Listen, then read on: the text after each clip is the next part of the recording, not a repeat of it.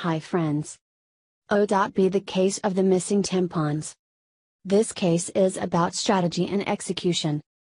The chief executive officer, CEO, of a large consumer health conglomerate faces a controversial situation. Loyal consumers of a feminine hygiene product are outraged when they learn that a highly coveted product has been permanently discontinued. Unable to find their favorite brand in stock, consumers create a website and post online petitions to boycott, or rather girlcott, all products made by the company. The company has already suffered serious consumer, investor and government scrutiny after having experienced more than a dozen product recalls in recent years. The CEO needs to develop a strategy to deal with the mounting consumer anger and public speculation, or risk the negative consequences of a militant, brand savvy, population of female consumers.